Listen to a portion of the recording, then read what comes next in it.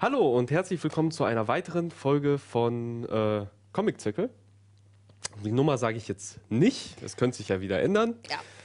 Ja. Äh, bei mir habe ich die gute Annabelle und äh, ja, dieses Mal, was haben wir dieses Mal als Oberthema? So grob könnte man sagen, Unbekannter Scheiß im Fantasy-Genre. Ja. Perfekt, ne? Ja, das sagt ich gut. Unbekannter Scheiß im Fantasy-Genre. Das müssen wir irgendwie in den Text reinkriegen. Ja, das m- muss ich mir merken. Ähm, ja. Und äh, dann fange ich direkt mal mit einer Serie an, die ich mitgebracht habe. Und zwar dürften die vielleicht einige kennen. Ist es die Serie Battle Chasers. Habe ich noch nie gehört. ja, da fängt es schon an. Die Leute kennen diese Serie und lieben sie. Ja, Battle Chasers heißt die Serie.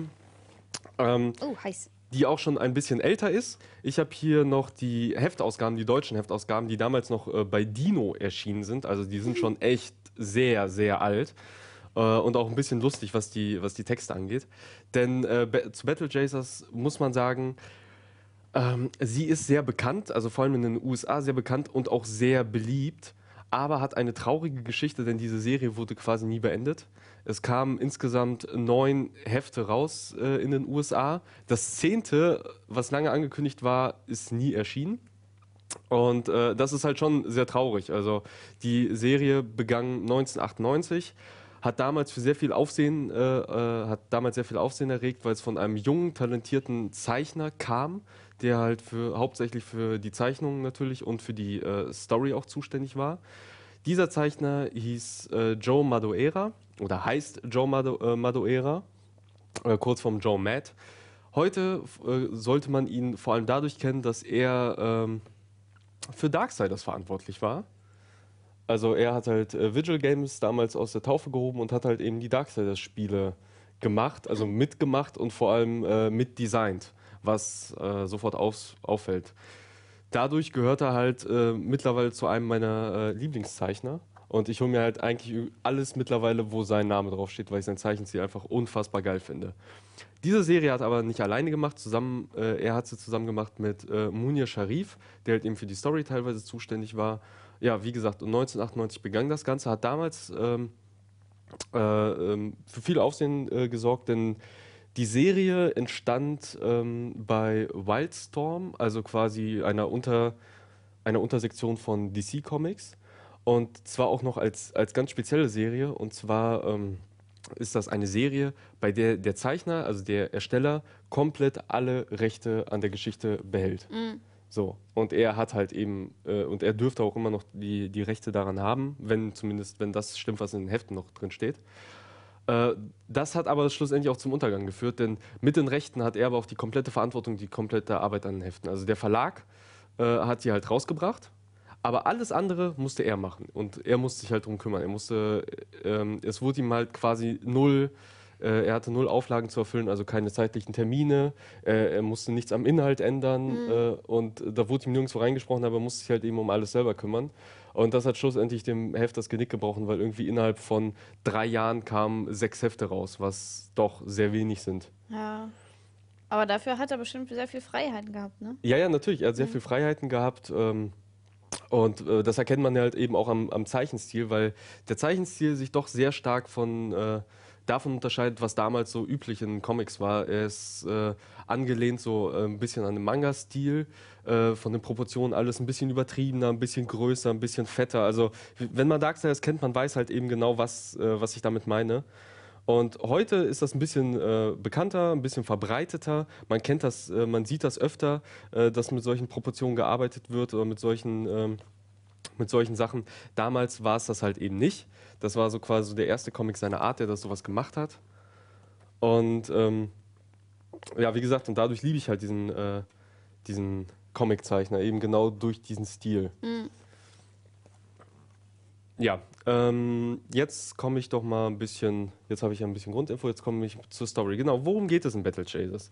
Battle Chasers ist eine Fantasy-Geschichte, keine klassische Fantasy-Geschichte, da Battle Chasers sehr viel auch, äh, sehr viele Steampunk und auch ein bisschen Sci-Fi-Elemente reinmixt.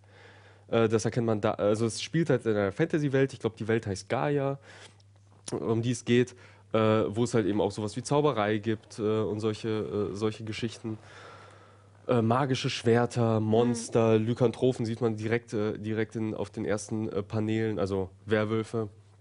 Und ähm, es gibt halt eben auch Königreiche, Könige, Banditen, Schurken, böse Zauberer, sowas alles. So, aber eben in dieser Welt gibt es auch sowas wie äh, Kriegsgolems, was eigentlich riesige Roboter sind, die auch eine gewisse Intelligenz besitzen und mit sowas wie MGs und Flammenwerfern ausgestattet sind, was dann natürlich nicht ganz so in, äh, äh, in diese Welt reinpasst, in dieses Fantasy-Setting. Aber es ist auf jeden Fall eine sehr coole Mischung, die sehr gut äh, ineinander greift und zusammenfasst. Äh, und zusammenpasst. So, und worum geht es äh, genau? Also es geht um da, dieses Mädchen hier vorne, was man direkt auf dem Cover sieht. Das Mädchen heißt Galli. Ich hoffe, es heißt Galli, weil es wird Gulli geschrieben. Ah, okay. Ja. Also von daher, ich gehe mal davon aus, Galli, das Mädchen ja, heißt Galli. Äh, und dieses Mädchen hat halt eine Kiste bei sich, ähm, hinter der irgendwelche, also hinter der diese Wölfe, äh, Werwölfe her sind. Und sie weiß nicht warum, weil diese Kiste ist halt magisch verschlossen. Und sie weiß nicht, was da drin steckt, aber diese Werwölfe wollen sie unbedingt haben, haben halt vermutlich ihren Vater, der halt ein bekannter Mann ist, ein bekannter Ritter ist, äh, getötet. Also vermutlich getötet, man weiß es zu dem Zeitpunkt noch nicht genau, äh, haben ihr, ihre Tante überfallen, die sie auch getötet und sie halt verjagt. Sie ist nun auf der Flucht mit dieser Kiste, trifft dann auf äh, diesen äh, Cyborg, äh, beziehungsweise den Kriegsgolem, der sie dann vor diesen Lykanthropen erstmal rettet und kommt dann mit ihm zusammen zu einem ähm, scheinbar sehr bekannten, aber mittlerweile etwas zurückgezogen lebenden Magier, der dann diese Kiste öffnet und da drin findet sie halt äh, Handschuhe, die wohl einst ihrem Vater gehört haben und im späteren Verlauf äh, sich herausstellt, dass diese Handschuhe also dem Mädchen oder jedem, der sie trägt, extreme Kräfte verleihen. Äh, ja, und das ist so quasi der grobe Aufhänger. Sehr viel mehr verrate ich mal nicht, weil wie gesagt, es gibt halt eh nur eine begrenzte Anzahl an Heften Ja. und wer es halt lesen will, sollte sich da nicht allzu sehr spoilern lassen. Und da will ich auch nicht spoilern. Ähm, was auf jeden Fall schon direkt eingeführt wird, sind sehr viele Figuren, Königreiche, Intrigen, Verbindungen zwischeneinander. Dann geht es da um Verrat und er will sich rächen und das ist aber jetzt schon ein paar Jahrzehnte her und er hat eine Vorgeschichte. Also jede Figur hat schon eine bestimmte Vorgeschichte, die auch leicht angerissen wird, leicht erklärt wird ähm, oder halt eben auch nur leicht angedeutet wird. Und da ist es halt um, umso, umso äh, ja, trauriger, dass man sich halt gerade so nach sechs Heften eingelesen hat und dann auf einmal, ja gut, jetzt ist halt auch Schluss, also jetzt gibt's ja, nicht mehr. und vor allen Dingen, weil es nur so wenig Hefte sind und die Story sich doch relativ komplex anhört, ähm, ist, ist, wie, wie ist das Tempo so in dem Comic? Ist da viel Story auf dem Haufen gequetscht oder, oder wie ist so das Tempo? Ähm, ja, ich, ich würde sagen, es ist schon, äh, schon rasant. Ähm, aber äh, es, es überschlagen sich nicht die Ereignisse. Also es ist, es ist ein angenehmes Pacing. Ähm, also innerhalb dieser ersten drei Hefte äh, hat man halt schon einige Kämpfe gegen einige Schurken. Äh, Figuren haben halt quasi ihre ersten Auftritte und können halt schon richtig fett beweisen, was sie halt eben drauf haben. Man erfährt, wie gesagt, auch schon genug von dieser Welt, um halt so ungefähr zu erahnen, worauf das Ganze anspielt, wo, das, wo die Reise hingeht. Ja. Und ähm, es, wie gesagt, es ist halt ein angenehmes Lesetempo. Es überrumpelt einen nicht, ja. es ist aber auch nicht zu langsam, nicht zu langatmig, nicht zu langweilig. Ähm, die Übersetzung bei den diesen uralten Heften, die halt wohl um, um 2000 herum, ich kann ja mal schauen, vielleicht steht es hier drauf. Überall 2000. Ja, nee, kam im September 00, also im Ah. Jahr 2000 halt raus. Äh, ja, die Übersetzung äh, ist an einigen Stellen ein bisschen komisch. ähm, aber okay, man kann drüber hinwegsehen. Ja, wer jetzt Interesse an diesen Heften hat, an Battle Chasers, äh, dem sei äh, eine, ja, eine frohe Botschaft äh, zu verkünden, denn Battle Chasers ist mittlerweile neu aufgelegt in Deutschland als großer gro äh, Hardcover-Sammelband über Crosscult, wo halt nicht nur diese sechs Geschichten drin sind, weil ähm, mit dem dritten Heft war hier Schluss und es waren halt eben nur sechs Geschichten, ähm, äh, sondern alles, was zu Battle Chasers je rausgebracht wurde. Also so alle neun Geschichten plus einige Zusatzgeschichten, äh, die irgendwie vorher, dazwischen, danach irgendwie rausgekommen sind, plus sogar erste Zeichnungen oder die ersten Zeichnungen des nie veröffentlichten zehnten Heftes sind halt drin. Dazu halt Skizzen und Interviews und allen möglichen Scheiß. Das ist halt ein richtig schöner Sammelband. Äh, wie gesagt, Crosscult. Das Blöde ist, der kostet halt 50 Euro, ist schon eine Stange Geld. Aber nachdem ich die Hälfte gelesen habe und verstanden habe, warum die Leute das so lieben, äh, ich überle also ich spiele jetzt mit dem Gedanken, mir das Ding echt zuzulegen, weil ich habe da Bock drauf. Vor allem, ich will halt eben wissen, äh, wie es dann doch noch wenigstens diese zwei Hefte weitergeht. Also hier sind halt nur die ersten sechs Geschichten drin, danach hat der Verlag aufgehört. Was sehr lustig ist, da nämlich hier in diesem ersten Heft wurde noch groß rumposaunt, ja, das ist der Shit, das kommt gerade aus den USA, wird da hart abgefeiert, wir lieben es, ihr, wir können es euch nur empfehlen, schreibt uns, wie ihr es findet, das wird so super geil. Und dann genau drei Hefte später schreiben sie, äh, tut uns leid, Leute, das ist das letzte Heft, das war's. Ah, Mehr wird es nie geben von Schade, uns. schade, schade. Ähm, ja, das, das tut einem in der Seele weh. Ich zeig nochmal äh, eine richtig, also das, das geile Cover-Artwork. Ach, hast du das schon Ja, reingehalten? ja, ich finde das großartig. ja. Also ich, ich liebe seinen Stil. Man merkt zwar noch, dass es halt quasi so die Anfänge dieses Stils bei ihm waren. Ich finde, das sieht man, also mittlerweile ist er sehr viel gefestigter, wenn man so seine aktuellen Comics sieht. Äh, aber der ist einfach nur fantastisch. Also ganz, Hm. äh, es gibt nicht viele Zeichner, die ich mir merke, aber er war so einer der ersten, äh, den, dessen Namen ich mir halt gemerkt habe und ganz groß aufgeschrieben. Und äh, wie gesagt, jedes Mal, wenn ich drüber stolpere, ich hole mir alle Hefte von ihm. Auch wenn es nicht meine Serie ist, wird trotzdem gekauft. ja, manchmal hat man das, ne? Ja, ja, äh, mehr gibt es halt, wie gesagt, äh, zu Battle Chasers nicht zu sagen. Also von mir gibt es eine ganz klare Empfehlung. Nochmal Dank an meinen ehemaligen Arbeitskollegen, der mir die, äh, die Hefte damals empfohlen hat. Ja, ey, der geht richtig steil drauf. Sogar sein Nick äh, basiert sogar auf einem der, ähm, der Charaktere hier, den er seit Jahren verwendet und unter dem er schon teilweise auch sehr äh, also bekannt ist in den Foren. Äh, Grüße, David. Äh, von daher ähm, meine herzlichste Empfehlung, holt euch äh, den Sammelband oder holt euch halt die Hefte über Ebay oder wo auch immer. Ihr könnt damit eigentlich nichts falsch machen. So. Dann gehen wir weiter zum nächsten Heft. Das hast du gestellt und da ja, freust du dich super mega da freue ich drauf. mich super mega drauf. Und zwar Red Queens. Was einige in den Kommentaren äh, oder einige in der Community freuen dürfte, weil ja schon der Vorschlag kam, ey, mach doch mal Ja, Queens. ja, ja. Und ich konnte es nicht abwarten.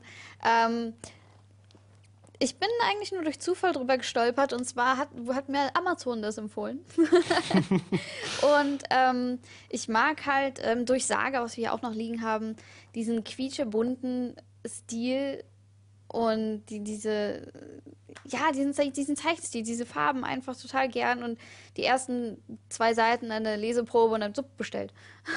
Ja, wobei man So sagen das muss, dass hier das Cover-Artwork nicht vom selben Zeichner ist wie das eigentliche Heft. Ja. Also es sieht zwar cool aus, also ich finde das Cover auch sehr, sehr Mhm. geil, vor allem diese Riesenechse. Ähm, aber der Zeichner ist dann doch ein anderer und Und ein sehr unerwarteter, denn ich habe mein Zettel verloren.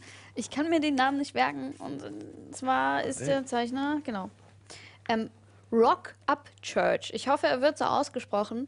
Ähm, man erwartet eigentlich wirklich, dass es eine Frau gezeichnet hat. Also ich bin fest davon ausgegangen, dass das ein äh, Mädel war, das das Ding gezeichnet hat. Ich Ja, weiß nicht warum. Das soll jetzt auch nicht irgendwie böse oder doof klingen, aber ich bin da doch schon fest von aus, äh, ausgegangen. Aber es ist dann doch ein Ja. Kerl. Ja, genau. Rob, äh, Rock Upchurch. Ähm, ich habe nicht so viel über ihn gefunden. Ich glaube, er hat noch nicht so viele Sachen gemacht. Ein Comic, den er gezeichnet hat, nennt sich Vessel. Ich hoffe, er wird so ausgesprochen. Davon gibt es auch so acht, neun Bände oder so. Ähm, von Red Queens ist bis jetzt nur dieser Trade hier erschienen. Ich glaube, in Amerika gibt es jetzt noch weitere Einzelhefte. Wann der nächste äh, Trade rauskommt, weiß ich leider nicht genau. Ähm, aber zurück zum äh, Rock Up Church. Ähm, er hat einen Blog und das finde ich immer total sympathisch, wenn Comiczeichner Blogs machen, wo sie dann ihre Skizzen, wo sie aufwärmen, also ich sag mal aufwärmen, Skizzen machen oder, oder die ersten, die ersten Panel von, von, von der neuen, von dem neuen Heft und dann guckt man sich das an und denkt, ja, es geht bald weiter. und, und das finde ich total sympathisch. Ja, ja, da gibt es halt einige und ich glaube, es werden auch langsam immer mehr. Mhm. Also auf Tumblr findet man zum Beispiel ganz viel auf der Art seit Jahren schon äh, gibt es halt die. Aber der Ja. Art ist halt ja nicht so blockmäßig, also da, da Mhm. bekommt man das nicht so schnell mit. Aber so Tumblr ist zum Beispiel ganz cool. Ähm, wen gibt es da? Also Scotty Young zum Beispiel verfolge ich auf Tumblr, der halt seine ganzen Zeichnungen, der halt für diese Marvel Baby Covers Mhm. äh, bekannt geworden ist. Ähm, der ist super. Also auch Joe Matt hat äh, seinen Blog. Ähm, im Netz, den ich halt immer, immer mal wieder, immer regelmäßig Ja, angucke, ob es da irgendwie und, und neue die machen Skizzen halt gibt. auch wirklich viel. Also es ist nicht so, dass man irgendwie alle drei Monate mal ein neues Bild von ihm sieht, sondern er haut da einfach jede Skizze drauf, die er macht, habe ich das Gefühl. Und, und die sehen auch wirklich super aus. Und ähm, der Autor nennt sich Curtis J. Wiebe oder Wiebe. ich weiß nicht genau, wie man ihn ausspricht. Ähm, er hat 2009 angefangen und die Geschichten, also ich habe bis jetzt gefunden, dass er Red Queens gesch äh, geschrieben hat und noch eins, das nennt sich Peter Panzerfaust. Oder Panzerfaust, ich weiß nicht, wie die Amerikaner oder Engländer das auch sprechen würden. Ähm, die sind alle noch relativ unbekannt. Also ich habe leider nicht viele Infos gefunden, aber dieser Comic, lest ihn alle, das ist eine totale Empfehlung von mir. Ähm, er sollte zuerst gekickstartert werden, ähm, aber eine Woche bevor diese Kickstarter-Kampagne angefangen hat, ähm, hat Image Comics gesagt, ey, das ist geil, wir wollen das haben, wir wollen es rausbringen. Und deshalb ist es jetzt ähm, bei Image Comics äh, erschienen. Ähm, geplant angeblich, ähm, angekündigt diesen Juni. Ähm, das ist eventuell eine TV-Sendung, also eine Comic-Animation, Zeichentrickserie. Zeichentrickserie. Äh, so ein 30 Minuten geplant ist, so eine Serie. Und da bin ich mal echt gespannt drauf. Ja, Weil ich, ich finde, meine Meinung ist es, ich finde, das wird voll passen. Das wird sich total lohnen. Wenn Ja, das ungefähr in dem bin- Stil und mit diesem Humor. ich bin da skeptisch, ob das so cool wird. Ja, mal gucken. Also dadurch, dass es halt sehr, was man halt dazu sagen muss, ist es halt äh, eine doch sehr äh, dreckige und auch gewalttätige, ich habe jetzt gerade ein paar Bilder in die Kamera gehalten, Serie, also wo halt eben, es geht halt um diese vier Mädels. Genau, und äh, was schon mal äh, lustig ist, wie die hier eingeführt werden, ähm, dass Betty, äh, bla bla, Tequila, Wodka and two Magic Mushrooms und, und, und, Und das nennt man halt den Betty, also das ist ein Getränk. äh, und, und, und die sind halt echt untypisch.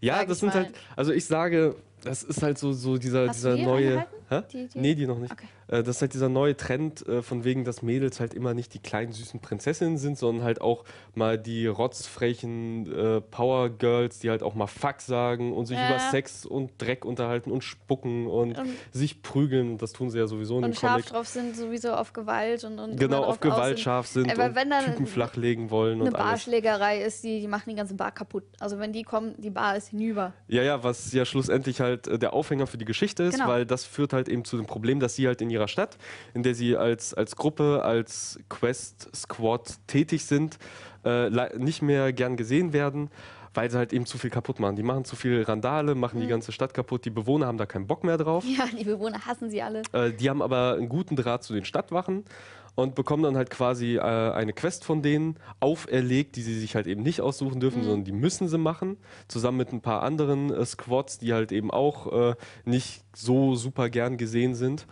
Ähm, aber wie sich halt im Nachhinein herausstellt, scheint dieser, diese Quest, dieser Auftrag nicht einfach nur irgendein x-beliebiger zu sein, sondern eine Falle Ja. Da einige der anderen Squads äh, durch einen Assassinen oder durch eine dunkle Gestalt halt in Mitleidenschaft gezogen äh, werden und auch äh, die Red Queens halt eben angegriffen werden Oh ja. und äh, nur mit knapper Not halt Hast mit heiler Haut da, da rauskommen. Ja, und das ist halt der Aufhänger der Geschichte. Damit beginnt das alles. Ja, sehr viel mehr sollte man vielleicht nicht verraten. Äh, ich sag mal, also die Geschichte, also wer quasi diese, dieses Attentat auf sie ausgeführt hat und was dahinter steckt, wird schon teilweise in diesem ersten Heft äh, aufgeklärt. Aber die Aufklärung führt dann quasi zu weiteren äh, nebulösen Geheimnissen und Andeutungen und führt halt die Geschichte und da geht halt die Geschichte quasi nahtlos in die, ins nächste Abenteuer weiter. Genau. Und ja, ich muss sagen, ich habe lange überlegt, ob mir das Heft gefällt. Weil, wie gesagt, also ich finde, es ist halt sehr, sehr girly-mäßig. Also so ähnlich, also ich vergleiche es halt gern mal so mit, so mit diesen neuen Sitcoms, sowas wie Two Broke Girls oder sowas. Ja, doch. Ähm, aber ich glaube, ich glaube, ich finde es cool und habe auch Bock weiterzulesen. Und äh, weil vor allem der Zeichenstil, wie Annabelle schon erwähnt hat, ich finde den dann Ja, super. Der ja. ist so richtig schön dreckig und man sieht halt die Bleistift-Outlines und Force-Skizzen und es ist super geil koloriert und auch Mhm. das Design der einzelnen Figuren ist halt einfach fantastisch. Ja, weil die halt auch mal untypisch sind. Weißt du, diese, diese Schwertkämpferin hier, das ist halt mal ein kleiner Zwerg. Ja, es sind halt eben keine Sexmonster. Wobei ich Ja, ja noch nicht mal sagen würde, es ist ein, sie ist ein Zwerg. Also ich Ja, dachte also- einfach nur, sie ist halt ein bisschen klein und ein Und, bisschen und dicklich, stärker. Ja, ein bisschen, so ein bisschen, Bisschen mobbelig. stämmiger. Ja, das finde ich total sympathisch. Ja, und hat keinen Und- Bart. Ja, und, und hat kein Bart. Und ich mu- echt auf jeder Seite musste ich mindestens einmal voll ablachen. Und ich, ich finde ich find das einfach, so- den Humor hier drin finde ich klasse. Ja, Also- wobei er fast schon, also zumindest was diese, was dieses Vulgäre angeht, schon fast äh, so an der Grenze ist mit okay, aber zu Deadpool, viel. ja? Aber du stehst auf Deadpool. Ja, aber Deadpool macht ja nicht, sagt ja nicht die ganze Zeit Fuck, Schwanz, äh, Sack und sowas. Das macht er ja nicht die ganze Zeit. So. Ich bin eigentlich auch nicht so ein Mensch, der auf sowas steht, aber hier fand ich das einfach total, weil es halt in so einem Setting ist. Weißt du, der, ich glaube, ähm, hier kann man auch zu sagen, das ist fast wie so eine, Liebes, äh, so, so eine Liebeserklärung an die alten Dungeons and Dragons. Also es ist wirklich noch so ein Dorf, da gibt es verschiedene Gruppen, die einfach Quests machen und dafür bezahlt werden. Ja, Das es wird schon sehr viel, sehr viel von so dieser Ja, ja. Videospiel-Logik und, Mhm. äh, und Ästhetik äh, in dem Heft drin. Ja. Stimmt schon. Ähm, ja, aber wie gesagt, also was mir halt so ein bisschen Schwierigkeiten gebracht hat, wie gesagt, das eine sind halt eben äh, quasi schon, schon fast, ähm, ah, jetzt fehlt mir das Wort, Inflanz, inflationär, ist das das Richtige? Das damit, also das mit diesen ganzen äh, Schimpfwörtern.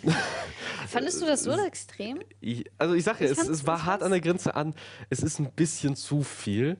Ah, ich fand es Aber ja, Das- noch, noch auf der anderen Seite mit, okay, noch erträglich und noch gut. Äh, und was mir halt dann wieder nicht so gefallen hat, war dann so, ähm, ja, diese Anleihen, diese Verbindung zur jetzigen, echten, modernen Welt, dass die, dass die eine Zauberin da äh, zum Beispiel so, einen- so einen magischen Stein hat, der jetzt quasi als Handy fungiert, wo sie natürlich ihre Mutter anruft, worauf sie keinen Bock hat und dann telefoniert sie die ganze Zeit mit der Mutter und Warum sagt der nicht? Mutter, äh, sie, soll, äh, sie soll dem Papa sagen, dass sie jetzt mit dem Ork geht, weil der Papa dann total ausflippt, weil sie ist ja eine Elfin, da kann sie nicht mit dem Ork gehen. Äh, und, und da denke ich, ja, okay, lustig, aber ach, vielleicht auch ein bisschen, ja, egal. Aber ich sag ja, ich gebe auch meine Empfehlung, äh, auch Ja, als, ja, Äh, als Typ gebe ich halt meine Empfehlung, guckt es euch an, liest es, es ist cool, äh, ich mag es auch. Und weil es halt wieder so, ein, so, so eine schöne neue Geschichte ist und man braucht irgendwie keine 20 Hefte Vorgeschichte und das ist echt, das ist frisch, so alt ist es auch noch gar nicht. Ich glaube, Mhm. letztes Jahr, 2013 oder so, ist es rausgekommen. Sicher ist das nicht erst dieses Jahr, also zumindest Oder der Sammelband dieses Jahr ist erschienen? Das, das kann sein, ja. Weil ich habe ja auch direkt nachgeguckt, wann es Ja, denn stimmt. wohl möglich auf Deutsch kommen könnte. Und äh, ja, der erste Sammelband ist erst vor ein paar Monaten erschienen. Das heißt, aber sobald es auf Deutsch kommt, werde ich sie mir wahrscheinlich auch Mhm. Und ich, holen. ich habe hab mich auch schon so gezwungen, es gibt ja schon neue Einzelhefte und nein, nicht angucken, nicht angucken. Weil ich warte immer ja, ist gerne immer auf. schlimm. Ja, Ja, das war es auch soweit mit Red Queens. ja also totale Empfehlung von mir. ja, beide Daumen hoch. Ähm, und dann kommen wir jetzt erstmal zur für heute letzten Geschichte, Genau. die du auch mitgebracht hast. Mhm. Und die nennt sich Hinterkind. Hinterkind. Genau. Äh, hier habe ich mich auch vom Cover wieder äh, leiten lassen. Ähm, ich fand das total interessant und dennoch äh, dieses Setting. Und zwar äh, hat es so ein bisschen was von, von, also angerissen von Last of Us. Das ist so, ähm, sorry, so ein bisschen apokalypsenmäßig. Die Menschheit ist fast ausgerottet und die Natur, äh, Mutter Natur hat wieder die Oberhand gewonnen. Also viele Häuser, die schon wieder mit Wald und Moos bedeckt sind und alles ist total urig geworden. Ähm, dann ist da so ein kleines Dorf, ähm, wo halt die letzten oder, oder ein, ein Grüppchen von, von überlebenden Menschen ist. Aber die Menschen sind nicht allein. Und zwar gab es wohl ganz früher, vielleicht schon vor den Menschen, diese Hinterkein nennen sie sich. Ich sag mal in Anführungszeichen Fabelwesen. Ja, schlussendlich sind es ja so Ja, das sind halt Trolle, das sind auch Feen, das sind alles, was eigentlich nur noch in Legenden bei uns existiert. Genau, aber es, es sind halt nicht nur diese, ähm, diese Grüppchen von, von Fabelwesen, es sind halt auch irgendwelche anderen Viecher, sage ich mal, die so zombie-mäßig äh, Krankheiten hatten, zerfallen sind und die sich jetzt aus Menschenteilen, äh, so Ersatzteillagermäßig wieder zusammenflicken. Ähm, ja, im- Großen und Ganzen geht es hier um, um, ein- um ein Mädel und deren Großvater und von den, also den Kumpel vom, vom Mädel. Ähm, ich finde es ein bisschen verwirrend. Äh, ich bin auch nicht so ganz durchgestiegen. Ähm, erst so beim zweiten Durchblättern habe ich erst gerafft, okay, alles klar, weil das schon ein bisschen verwirrend ist, finde ich. Ja, der Einstieg, So, ja, der Einstieg wird einem nicht leicht gemacht. Also ich habe das Heft, äh, du hast es mir ausgeliehen, ich habe Mhm. es auch mal reingelesen. Ich habe es nicht durchgelesen, weil ich dann doch sehr harte Kritikpunkte an dem, an dem Heft habe. Mhm. Ähm, aber ja, der, das Heft macht das einem nicht leicht, weil auch diese ganze Hinterkind-Geschichte, wie das zusammenhängt, äh, wird erst im Nachhinein so angedeutet und man muss sich die Erklärung selber so ein bisschen auch zusammenreimen, bevor es dann halt äh, auch mal so ein bisschen großzügiger erklärt wird, was es damit zu tun hat. Schlussendlich wird halt gesagt quasi, dass die Menschheit, als sie aufgetaucht ist auf der Welt, die Welt bzw. die Natur mit ihrer Zivilisation in die Schranken gewiesen hat und immer weit zurückgedrängt hat und damit quasi diese sehr naturverbundenen Hinterkind, also diese mythologischen Ja, Wesen ja, auch verdrängt hat, soweit, dass sie quasi nur noch in Sagen und Mythen existieren. Und dann ist halt irgendwas passiert, was die Menschheit wiederum an den Rand der Ausrottung gebracht hat. Und dadurch erstarkte die Natur und, die die. Hinterkainen sind wieder aufgetaucht und sie hassen natürlich Genau. den Menschen Genau. und äh, wollen sie eigentlich nur töten. Ja, und das ist halt so Mhm. der Grundtenor in der Geschichte. Ja, und dann geht es, wie du auch schon sagtest, um halt dieses Um- Mädchen, Genau, um das Mädel und, und, und was ihr halt ihr Freund. Dorf verlässt. Genau, weil ihr Freund ähm, hat, ich sag mal, einen Rattenschwanz. Ja, er hat halt eine Mutation, Eine Mutation entwickelt. Genau, entwickelt und er denkt so, oh Gott, ich bin nicht normal und die werden mich alle rausjagen, deshalb verlässt er die Stadt, aber seine beste Freundin kommt natürlich mit. Und Und dann stoßen sie halt auf diese Hinterkainen, von denen Genau. aber die Menschen, also auf diese Gruppen, weil sie sehr halt sehr isoliert äh, überall verteilt sind, leben, äh, auch bis dato gar nichts wussten. Also sie dachten, das sind, also sie wissen gar nicht, was halt außerhalb ihres Dorfes Ja, ist. genau. Also die leben jetzt da zum Beispiel in Central Park mitten in New York, wissen aber zum Beispiel nicht, was auf der anderen Seite, äh, äh, was auf der anderen Seite äh, hinter dem Fluss, hinter der Brücke halt überhaupt lauert, was es da überhaupt gibt. Es Genau. gibt halt irgendwie so Gerüchte, dass es halt irgendwelche Monster da lauern, aber das wird halt alles als Blödsinn abgetan. Bis dann- halt dann diese beiden Jugendlichen das erste Mal halt wirklich auf, Auf die, so ein- auf so einen Troll stoßen. auf einen pinken Troll mit Auf einen pinken Troll mit Armen. vier Armen. ähm, ja. Ja. also so viel erstmal erstmal zur Geschichte selber. Hast du was über Autoren und Mhm. Ähm, äh, Zeichner? Ähm, und zwar, äh, der, der Autor von, von der Geschichte ist Ian Edginko, Eddinkto. Äh, tut mir leid, ich kann es absolut nicht aussprechen. Ähm, der hat ähm, auch an X-Force geschrieben teilweise und an Leviathan. Das kannte ich, das kannte ich jetzt leider nicht. Ähm, ich habe auch nicht so viel äh, über ihn gefunden, außer dass er noch eine Comic-Version äh, des Hellgate London Spiels gemacht hat, also geschrieben hat. Mhm. Und ähm, auch ein paar Warhammer-Comics. Also der ist eher so der bisschen Underdog-mäßige, sage ich mal. Ich glaube, ich habe den vor kurzem selbst irgendwie gegoogelt. Das sagt Ja? mir was. Also Hellgate London und äh, Warhammer, das sagt mir irgendwas. Ja. Also, dass ich da irgendeinen hatte, der es halt auch irgendwie zu verbuchen hat. Also ich habe nicht viel, äh, viel gefunden über ihn. Genauso äh, über den Zeichner, dessen Namen ich auch nicht aussprechen werden können kann. Äh, Francesco Trifogli. Tri- Trifogli. Es tut mir leid, das ist ja schon was lächerlich. Ähm, der hat äh, an einer Serie gezeichnet äh, oder an einem Comic äh, Mystery in Space. Sagt mir jetzt auch nichts wirklich. Ähm, und weiteres habe ich auch gar nicht über ihn gefunden. Der Name, der sagt mir auch überhaupt nichts. Aber ähm, Ja. der Zeichenstil ist auch ein bisschen nicht so. Das unsers. Cover, äh, da Also- wollte ich gleich drauf zurückkommen. Also das Cover l- führt einen leicht in die Irre, weil das Cover sieht sehr, sehr schön aus. Ist sehr ansprechend, finde ich halt auch. Aber die Zeichnung selber, also ich habe da, äh, ich habe da meine, meine herbe Kritik gegen. Ich habe da gerade eine Seite rausgesucht, wo Ach man so. das sehr schön äh, zeigen kann. Ähm, und zwar auf dieser Seite hier. Da sieht man nämlich einen, einen Knackpunkt, äh, den, äh, oder eine Sache, die ich echt anzumäkeln habe. Und zwar sieht man halt einmal hier das Mädel, um das es geht, die Hauptfigur. Und hier unten ist eine weitere Figur, äh, ein weiterer Protagonist, glaube ich mal, der halt eingeführt wird in die Geschichte. Und die sehen einfach mal komplett gleich aus. Der einzige Unterschied ist halt, das Mädel hat halt äh, ein bisschen Licht in den Haaren und er hat halt komplett schwarze Haare. So. Aber weil der Zeichner es einfach nicht hinbekommt, quasi ein und dasselbe Gesicht über mehrere Panels gleich zu halten äh, und es immer so leicht unterschiedlich ist, kommt man da ganz schnell durcheinander, wer jetzt wer ist und muss dreimal drauf gucken.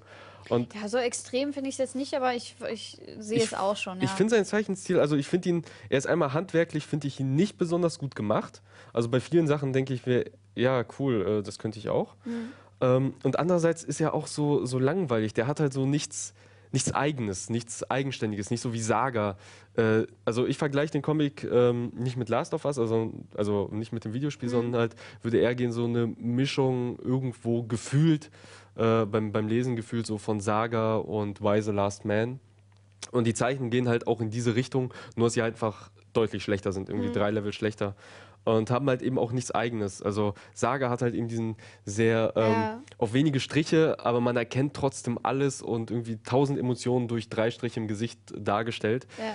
Hat der hier gar nicht. Also der hat einfach mal viel zu viele Striche einfach benutzt, die dann auch wieder total stören und ablenken.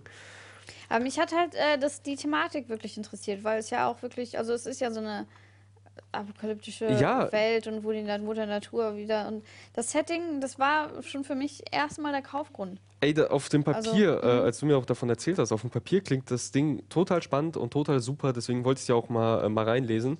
Äh, und ich hätte halt nicht gedacht, dass, dass ich halt irgendwie ab der Hälfte abbreche, weil ich weiß nicht warum, aber die Geschichte hat mich einfach irgendwie nicht packen können. Ja. Also warum, ich kann es nicht genau beschreiben, aber eigentlich so die, Grund, äh, die Grundgeschichte von wegen, ja, Welt zerstört und es gibt halt eben mal keine Zombies und es sind die mythologischen Wesen, die dann auf einmal auftauchen äh, und die Menschheit quasi bedrohen oder die letzten Rest der Menschheit und sowas.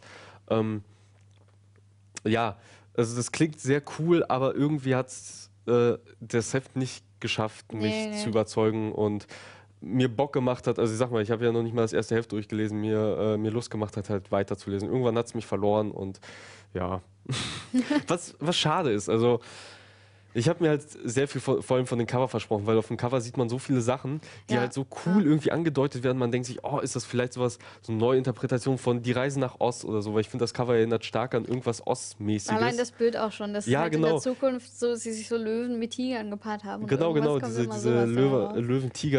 Löwen-Tiger-Mischlinge und dann sie mit dem, mit dem Pfeil und Bogen, was Mhm. ja schon so ein bisschen an Hunger Games erinnert. Aber irgendwie bringt der, das Heft das alles irgendwie nicht, nicht rüber, was Ja, ich, halt ich finde die. Charaktere auch ein bisschen mau. Also, die haben halt nicht so Persönlichkeit, sage ich mal. Die sind einfach so ein. Man fühlt sich nicht zu dem verbunden. Vielleicht Nee, ist es das, nicht, was, äh, was mich halt verloren hat, weil die werden auch irgendwie komisch vorgestellt. Also man erfährt wenig über sie und was man erfährt, ist halt so, passt eigentlich mehr zu Nebenfiguren als zu Hauptfiguren. Ja, genau.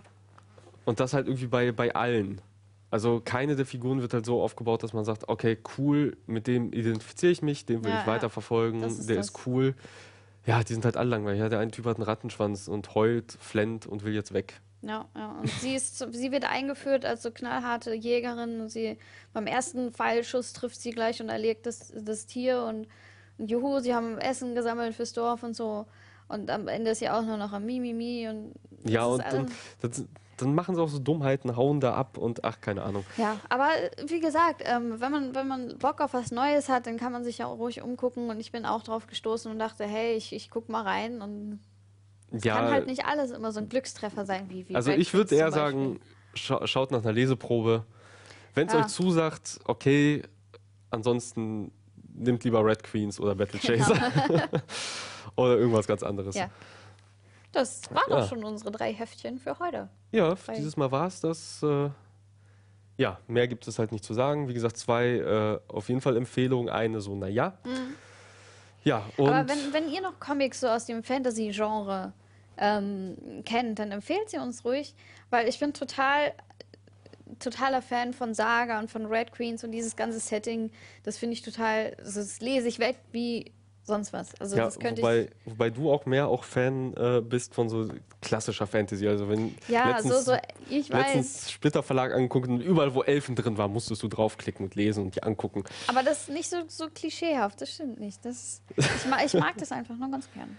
Ja, weil ich bin bei Fantasy ein bisschen, ein bisschen schwerer zu knacken. Also für Mhm. mich muss, äh, wie halt eben bei Saga, dieses, dieses Cypher-Fantasy sein oder Battle Chasers irgendwie auch nicht 100% Fantasy, aber mit coolem Zeichenstil oder eben Red Queens Fantasy mal ein bisschen anders erzählt. Mhm. Also für mich braucht es schon so, einen- so einen bestimmten Dreh. Deswegen weiß ich halt eben nicht, ob ich mit den jemals mit den Game of Thrones Heften irgendwie warm werde, weil das ist für mich zu, ja, ja, weiß nicht, zu langweilig. Also dafür lese ich halt schon die Bücher, da brauche ich die Comics jetzt nicht auch nochmal dasselbe, Ja. nur mit Bildern lesen.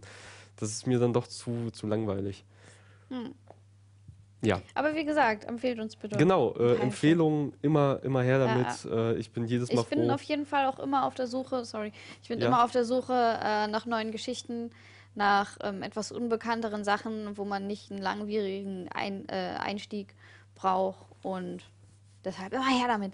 Ja, deswegen bin ich auch froh. Also jedes Mal, wenn ich halt irgendwie äh, mich vorbereite auf einen Comic-Zirkel und halt nach den Autoren und nach den Zeichnern google, dass man dann halt eben teilweise irgendwie auf neue Hefte stößt, die sie gemacht haben, wo Mhm. dann auch steht, preisgekrönt und so viel abgeräumt und total beliebt. Und dann denke ich, ja, okay, guck es mal an. Und dann findet man halt immer wieder irgendwie Sachen, wo man denkt, ey, cool, das, so, komm, Wunschzettel, das bestelle ich mir jetzt irgendwann bald. Ja.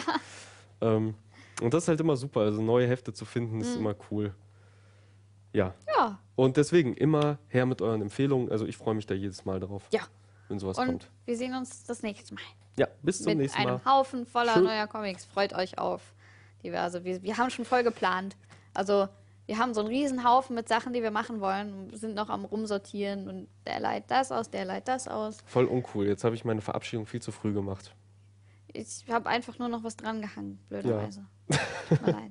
Was wir schon seit fünf Minuten machen. Immer weiter dranhängen und weiter dranhängen. Und Ja. jetzt hängen wir wieder was dran. Egal. Ja, egal, jetzt, aber sagen wir es endlich tschö. Okay. Tschüss. Tschö. Ich kenne das nicht. Ich weiß nicht, wie er das macht. Keine Ahnung. Was?